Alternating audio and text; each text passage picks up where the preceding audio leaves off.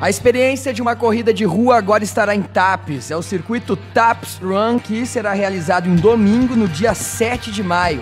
As inscrições podem ser feitas no site onlinecomunicações.com.br ou na Academia Japur Sport Fitness, na rua Professor Luiz Vieira, número 1118, em Tapes.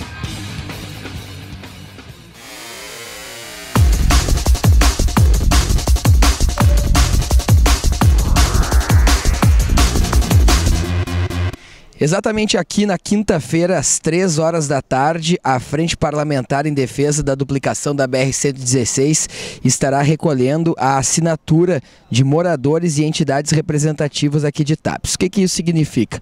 todos os moradores aqui da cidade podem se deixar sua assinatura. Este abaixo assinado vai ser encaminhado até o Ministério dos Transportes em Brasília para que as obras da BR 116 e a duplicação saia de uma vez. TAPES está compreendida e talvez seja uma das cidades que terá mais benefícios com essa duplicação. Conforme estudos de especialistas em trânsito, com a duplicação da BR-116, o tempo em média por exemplo, de Tapes até Porto Alegre, vai reduzir de 1 hora e 15, 1 hora e 30 para até 40 a 50 minutos com as condições ideais da rodovia. Por isso é muito importante que você venha até aqui, faça essa assinatura, é um simples ato de assinatura, colocar seu RG, o seu CPF sua assinatura, porque este abaixo assinado e quanto mais assinaturas tivermos, TAP será compreendida na duplicação da BR-116, que significa basicamente duas coisas: mais desenvolvimento para a região, pela proximidade que vai ficar de Porto Alegre, mas principalmente pela segurança, reduzindo o número de mortes e de acidentes de trânsito, que hoje é uma triste realidade aqui para a nossa região. O programa Conexão de hoje faz uma convocação tanto para os moradores aqui de Tapes, mas também para as entidades representativas aqui do município, para um abaixo assinado que terá na quinta-feira sobre a conclusão das obras de duplicação da BR 116. Por isso a gente vai conversar com o prefeito Silvio Rafael para ressaltar a importância desta mobilização de todos os setores para que este abaixo assinado, além de Tapes, como outras cidades, chegue até o Ministério dos transportes em Brasília e, enfim, a obra possa ser concluída e retomada, né, prefeito?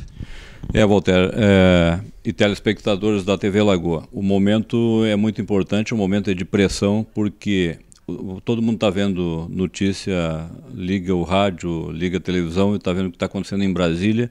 E se nós não tivermos organizados e com muita pressão, possivelmente a nossa obra pode ficar fora de um, desse projeto aí que, que graças a Deus estava saindo e daqui a pouco parou, devido exatamente até, eu acho, pelo, pelo movimento da Lava Jato, que graças a Deus está fazendo essa limpeza ética, mas infelizmente é, parou as obras e nós não podemos ficar à mercê dos acontecimentos e ficar inertes. Nós temos que forçar muito. Tem uma reunião em Brasília, nós estaremos lá representados, a Associação é, Costa Doce estará lá, o prefeito Clênio de Dom Feliciano, que é meu vice, irá a Brasília para nos representar. Nós ficaremos aqui, tem uma audiência pública na Assembleia Legislativa, tem também aqui esse, esse chamado, esse pedido de abaixo-assinado, esses abaixo-assinados chegarão em Brasília com muita força, porque demonstra que estamos organizados e não só pedindo em, em, é, em torno do desenvolvimento.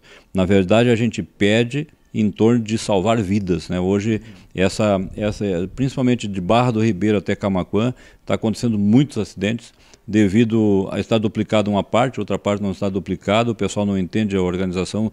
É, tu está indo em duas faixas, daqui a pouco tu vira numa só, tem sinalização, daqui a pouco não tem adequada e está dando muito acidente. Acidente em linhas retas, talvez pela impaciência, pelo movimento que está acontecendo aqui.